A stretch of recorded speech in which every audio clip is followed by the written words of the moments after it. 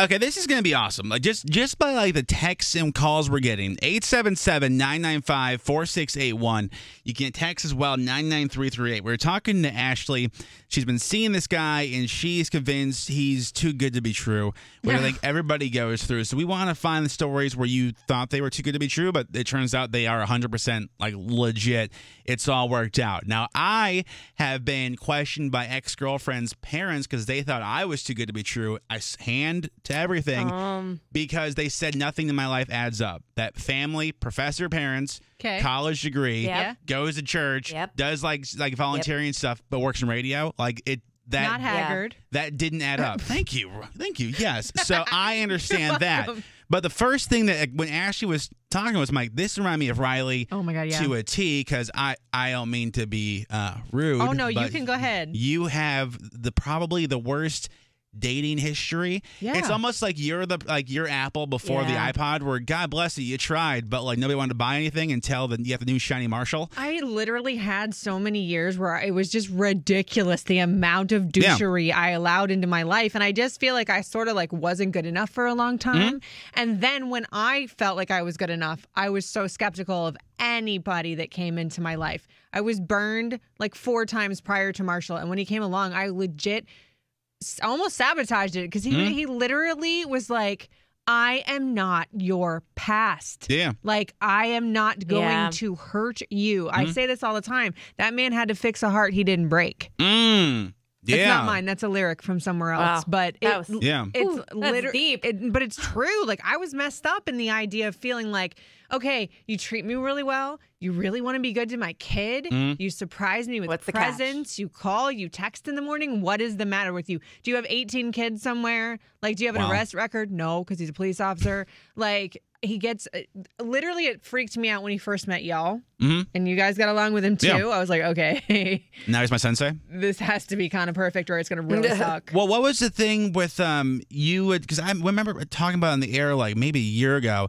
and I, I was like, I think you're just trying to find like little things. Like it's almost like the insurance plan of like it's definitely like I think when you're in so many bad relationships, you think you don't deserve happiness. Which Mm-hmm. like to Ashley too, it's like.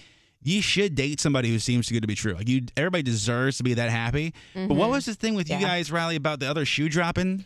Oh, I used to always tell him, I was like, I'm literally waiting for the other shoe to drop. Yeah. And he used to always tell me, I loved that he said this. He's like, baby, you keep those shoes tied. Yeah, Like, I thought that Oh. there was always going to be something else. So then for our first Valentine's Day, I got him a candle that said, Here's to keeping those shoes on. I mean, you Mm. got to understand, it was scary because Marshall started planning the ring three and a half months in my man. to some would think is nuts, but Mm. he knew that I was a single mom. I had my own career, I had my own stuff going on, so there was no playing around.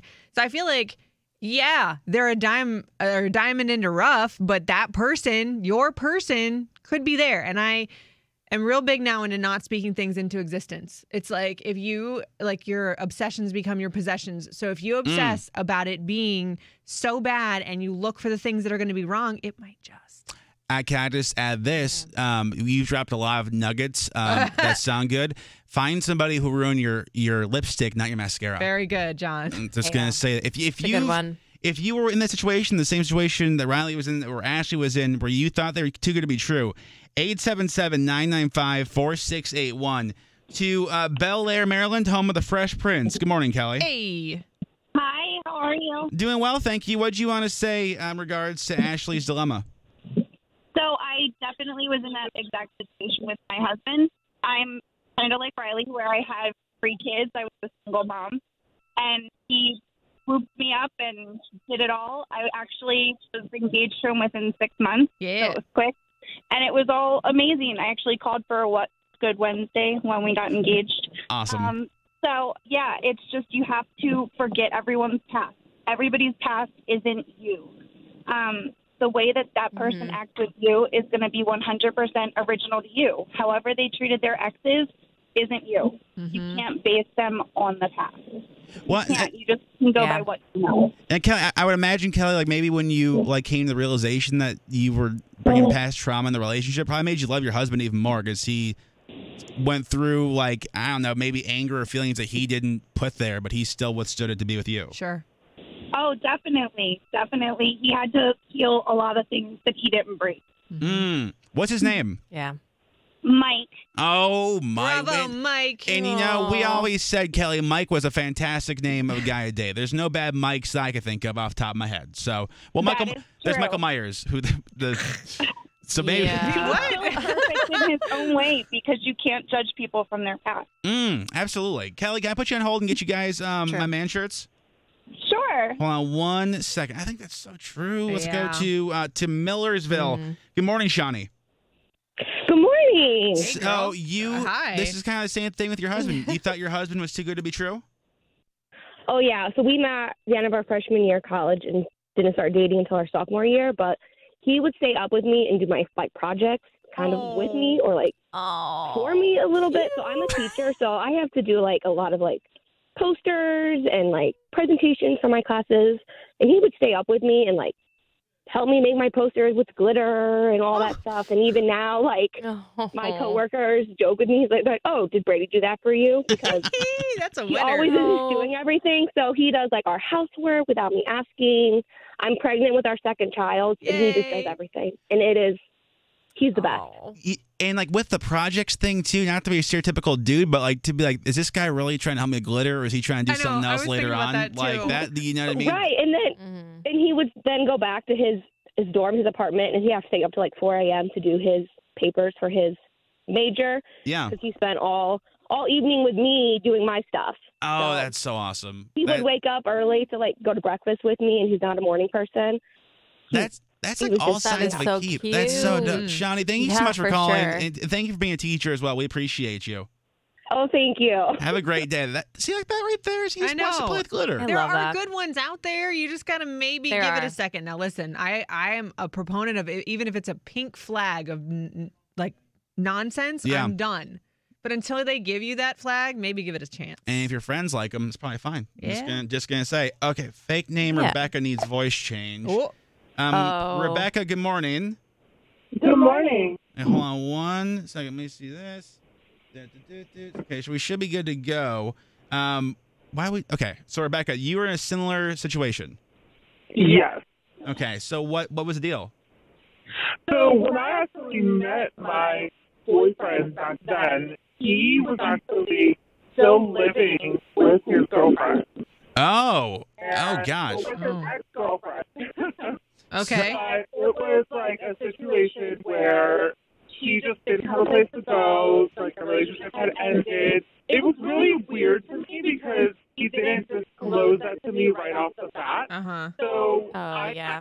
feeling the same thing where like the relationship started off great, you know, we went we met in an office, like he was you know, he's the tech guy and I was doing accounting and you know, it was just that work romance Sure. that he kinda hit off and what if he would just never invite me over to his house. So I'd be like, That's kind of weird, like they're dating, Sure. always go to my place. So Mhm. it was kind of the same thing where my friends were like, "Oh, maybe it's just too good to be true," but you know, come to find out after, and I ended up finding out that I had gone to his house for Christmas just to kind of surprise him on Christmas Eve. And lo and behold, I see that there's another woman living there. Oh, so my I God. kind of thought the same thing. Like, what's going on? Is scary? Yeah. Like, I freaked. Um, so that's kind of how that started. Oh man, wow. Well, Uh huh. that now I understand the voice change and the fake name, Rebecca. Yeah. That that all makes a little more Oh. sense now. I mean, I don't blame you for being a little yeah. suspicious there. That's a lot. Oh yeah. Oh, absolutely. We're being upset at it all. Was, it was a big, big issue with our relationship because it made me feel like I just couldn't trust him. And, you know, it, we took some time off. Like, I needed to process things. And, you know, I, and I think the girl was also pretty cool about it. 'cause She also became more, like, understanding of what she was causing with him, with any person that Sure. he would date if she was still living there. So she ended up Wow. out within, like, a couple months Yeah. and he, you know, he called me and was like, "Listen, I kind of fixed my situation. Like, I want to really continue dating." And here we are, you know, 14 years later. Wow, 14 years. Holy goes. shnikes. Okay. That oh wow. oh my goodness. You know, Congrats. Yeah, it, you really have to take a chance sometimes. You know, I I was really hurt officially, like when we first started dating, but here we are. You know, best decision that we made was give it a second go. Oh well, uh, there's Wow. see, there's a little, there's hope for Ashley. Fake name Rebecca. Thank you for calling. Have a great day. Awesome you too. Bye. There's so many texts to 99338 about I was in a similar spot. I thought they were too good to be true. Didn't think I deserved them, but we've been together for 10 Yeah. years. Like that, see, that's what you That's need. a big thing. You have to know that you deserve the that kind of love. Absolutely.